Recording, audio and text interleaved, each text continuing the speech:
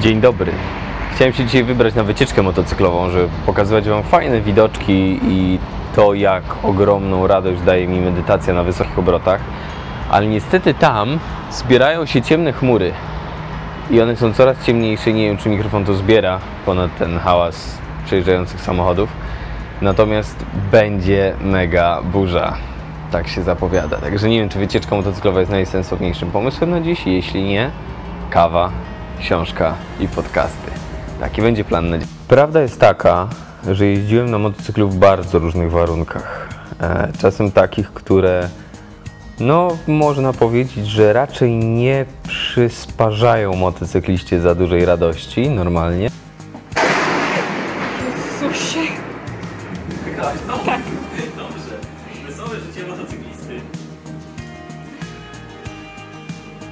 Bo motocyklistą się jest, a nie bywa!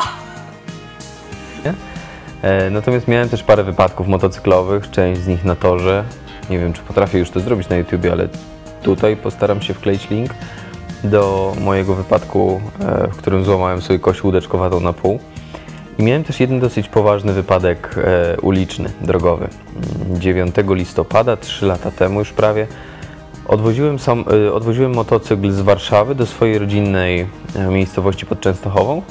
I mając z tyłu głowy te statystyki, że najwięcej wypadków dzieje się tuż przed metą, niezależnie czy to jest meta w postaci końca podróży, czy to jest meta w postaci końca sezonu na przykład. Więc jechałem super, ultra ostrożnie.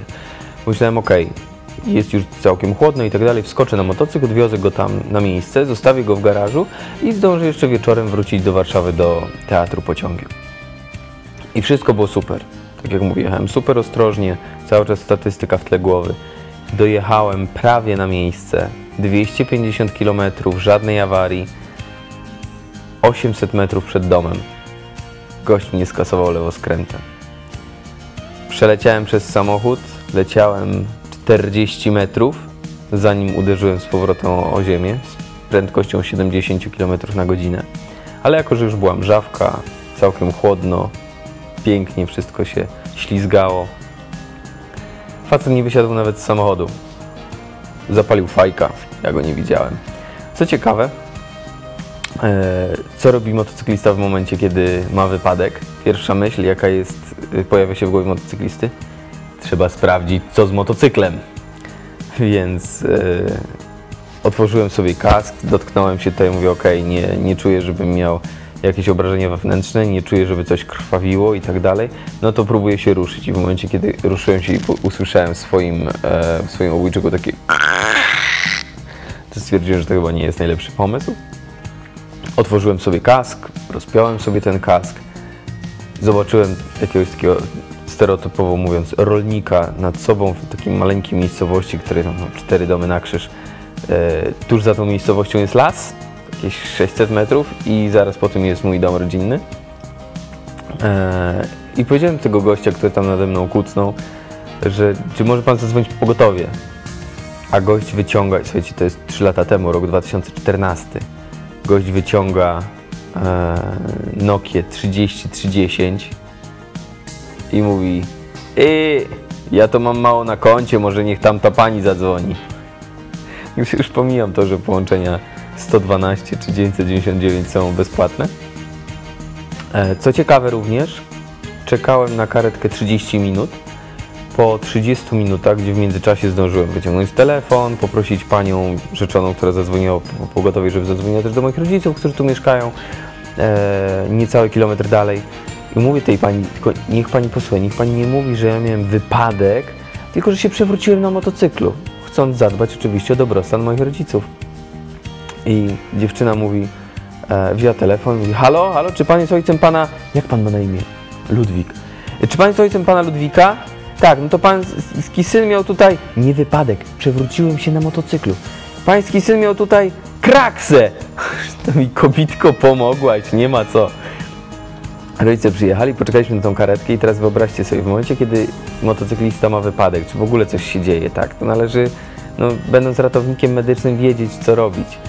I w tym konkretnym przypadku, mówię, otworzyłem kask, rozpiąłem kask, więc de facto wystarczyło go zsunąć. Co zrobili pracownicy karetki? zgięli mi głowę aż do karku, e, aż do mostka i w tym momencie dopiero zsunęli kask. Gdybym nie inwestował w rzeczy super premium, to prawdopodobnie o ile przeżyłem wypadek, nie przeżyłbym wizyty karetki. I e, tak jak mówię, no jeździłem w bardzo różnych warunkach. Wszystko się dobrze skończyło. Bojczyk złamany w czterech miejscach, zrosło się wszystko fajnie. E, Daytony, na której w tej chwili jeżdżę, kupiłem e, jeszcze leżąc w szpitalu. Już wtedy podjąłem wszystkie, e, podejmowałem wszystkie działania, żeby kupić nowy motocykl, żeby jak tylko skończy się zima, żeby od razu wsiąść na nowy, ponieważ tamten oczywiście został skasowany po tym wypadku. Natomiast to, co jest ciekawe, to jest to, że jeździłem w bardzo, bardzo, bardzo różnych warunkach. Mam fajny filmik, filmik na Instagramie, gdzie Helenę uczyłem jeździć e, na motocyklu i też wracaliśmy przez Warszawę w kosmicznym deszczu. Natomiast po tamtym wypadku cały czas mam gdzieś z tyłu głowy opór. Mogę jeździć, mogę się bawić, mogę szaleć, ale w takiej sytuacji, kiedy nie ma kosmicznej ulewy, ale jest po prostu zwykła mrzawka, gdzieś z tyłu głowy jest strach. Jest stres tego, że to się powtórzy i brak kontroli nad motocyklem skończy się takim samym bólem, jaki był wtedy. A zrastanie się obojczyka, który nie jest złamany raz, nie jest złamany dwa razy, nie jest złamany, znaczy nie jest złamany dwa razy, tylko trzy razy, no bo są cztery kości, wtedy tak. E, jest kosmicznie bolesne. Kosmicznie bolesnym doświadczeniem. Dlatego jak sobie tak teraz myślę o tych chmurach, które się tutaj pojawiają, bo to chyba już zaczyna być widać, jak tam się robi ciemno, to nie jestem do końca przekonany, czy ta dzisiejsza wycieczka to jest najrozsądniejszy pomysł. I w takim przypadku, gdzie jest kwestia tego, co powinniśmy robić, co jest na, dla nas przyjemne, miłe i ma być tak naprawdę tylko i wyłącznie radością, nie jestem pewien, czy chcę walczyć ze swoimi demonami w głowie. Pewnie kiedyś, może jeszcze nie teraz. Dlatego dzisiaj poranny vlog o wypadkach i o pokonywaniu własnych e, strachów. Czy zawsze trzeba? Nie wiem.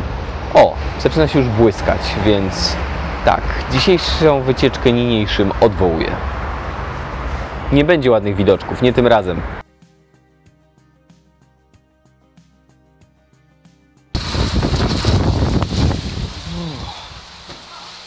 Patrz jak leje. No. Także tego. Wycieczki jednak dzisiaj nie.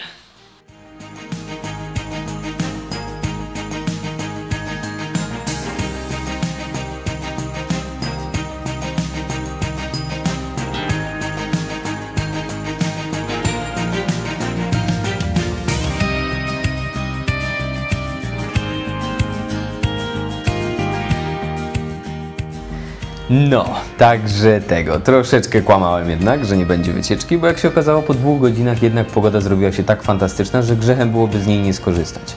Chciałem sobie objechać Puszczę Campinoską naokoło, albo skoczyć do starej wędzarni w Drobinie, gdzie mają bardzo dobrą panakottę i całkiem niezłe espresso. Na kawę 100 km za Warszawę, prawda?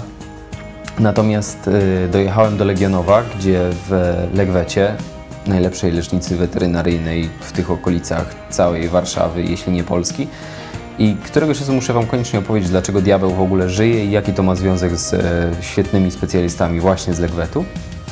Natomiast dojechałem tam, kupiłem diabłowi tabletkę przeciwkleszczową i wróciłem z powrotem do domu prosto pod zimny prysznic, bo przy takiej temperaturze bycie okutym od stóp do głów w skóry jednak nie jest najprzyjemniejszym doświadczeniem i tam nie może być w żaden sposób chłodno. Dlatego wracam do planu, który zaproponowałem dziś rano. Kawa, książka i podcasty. Ale nie dlatego, że jest deszczowo, tylko dlatego, że jest upalnie. Także summa summarum i tak wychodzi na jedno.